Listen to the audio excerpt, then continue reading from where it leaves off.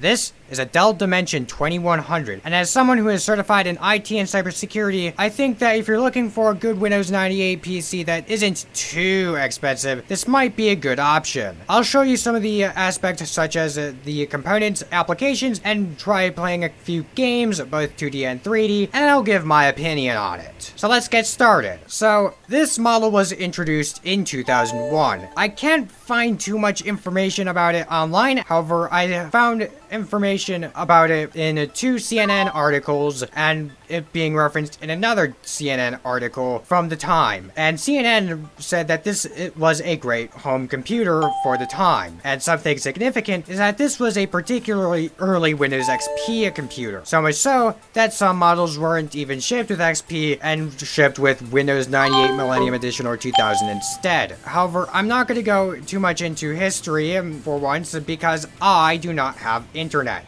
Uh, yeah, it died. There was very bad weather a couple days ago, so don't throw slop at me because of that. The Dell Dimension 2100 was provided in various configurations. For example, you could choose which processor, either the Intel Pentium 3 or the Intel Celeron that was the counterpart to that, which would be a socket 370, and the operating system. This specific configuration was manufactured on Halloween of 2001, not even a week after Windows XP came out, and has an Intel Celeron socket 370 at 1.1 gigahertz and 256 megabytes of RAM which is just barely enough to load the Windows installer for Windows 7 and Vista. But now that I've gotten that out of the way, I think we should take a look at the front and rear of the system. On the front, there aren't any USB ports, which is a bit of a downside. However, there is a disk drive a floppy drive, and two stickers that are on the bottom, at least on mine, with one of these looking really disgusting. I should probably do something about that, but it's uh, something for another day. On the rear, on the other hand, we have a Kensington security lock, a power supply, PS2, USB, VGA, parallel, serial, the diagnostic lights, a networking card, a sound card,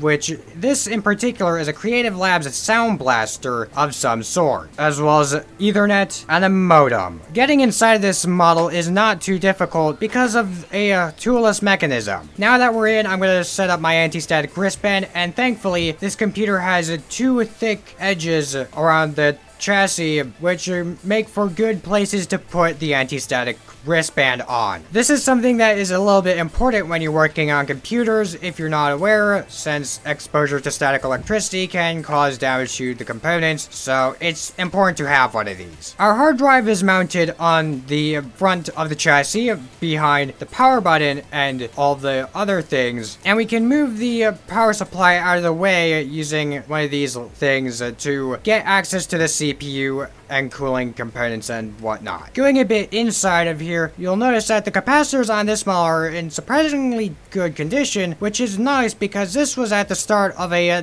infamous time period known as a capacitor plague that affected a lot of different computer manufacturers, including Dell. Also, on a side note, this uh, thing has a working CMOS battery, which is rather impressive, but otherwise it's your fairly typical computer internals, so let's put this back into a working state, and by the way, getting this side panel back on is a bit confusing.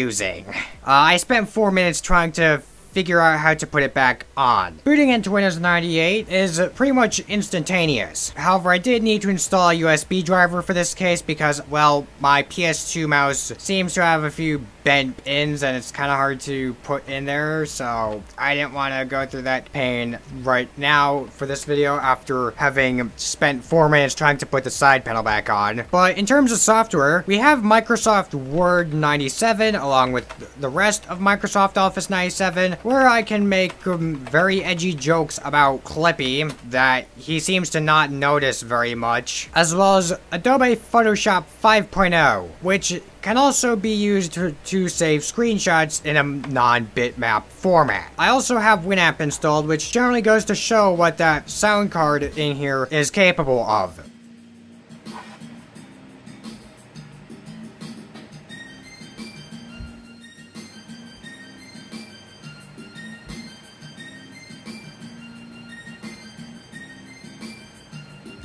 It'll become a bit more noticeable later on when we try a few games. games. In terms of another aspect, namely web browsing, I have two web browsers installed which are pretty much uh, comparing fire and ice, especially in the corporate world from this time because of the fact that the two web browsers are Netscape Navigator 3 and Internet Explorer 5. And in terms of software development, I have Visual Studio 6.0 Enterprise on here, including Visual Basic, where I decided to make a little bit of a very, very basic sample application that does nothing that I called the magic button. And because it'd be funny to make a program and have it do literally nothing while having a very intriguing name. I didn't name the EXE correctly though, but I fixed that. I'm gonna move on and try a handful of games here. I'm going to play three 3D games and three 2D games. And let's start off with the 3D titles, since they're more resource intensive. I decided to give Half-Life a bit of a proper go this time, and well, given that my previous time ever playing this title was on a 2006 Toshiba laptop that was handling it being very warm and stuff, I can say that my experience playing Half-Life was a bit better than playing it on that Toshiba Tecra.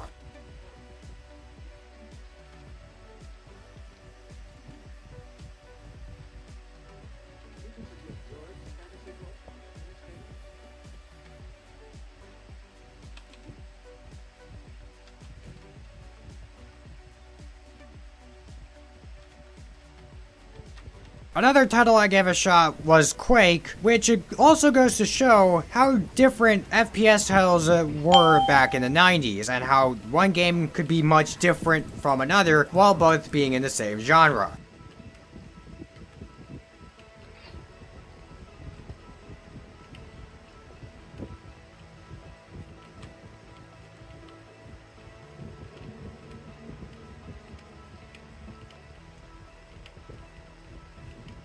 Moving on from FPS titles, we have Need for Speed 2 SE, which is a racing game, and, well, I've actually played it a few times on here, and it's quite fun.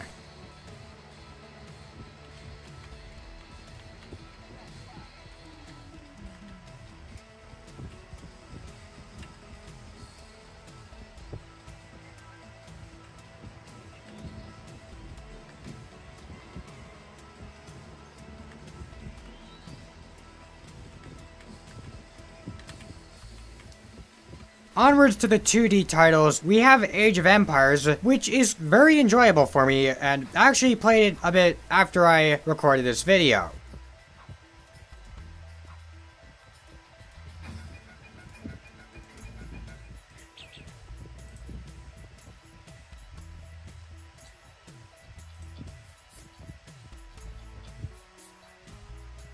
We also have the parody title Microshaft Windblows 98, which is a parody of Microsoft from the time, which goes back to what I mentioned about Netscape Navigator and Internet Explorer earlier.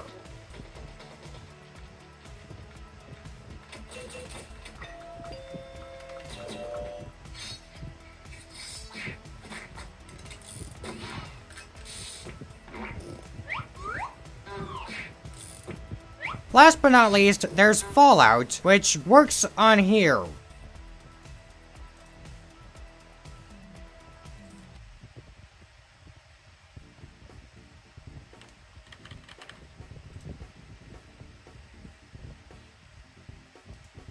I'll say this, there are a few titles that I wish I could have tried on here, but didn't. Namely, I left Sonic CD out because it's, of course, it's gonna work on Windows 98, given that there's a port for it. So you're probably wondering, why did I leave Touhou out? Well, I wanted to try Touhou, except this happened. And in the case of this video, I don't necessarily have all too much time to install DirectX 8. So unfortunately, uh, that's just the way that things are gonna have to be. No Touhou game this time.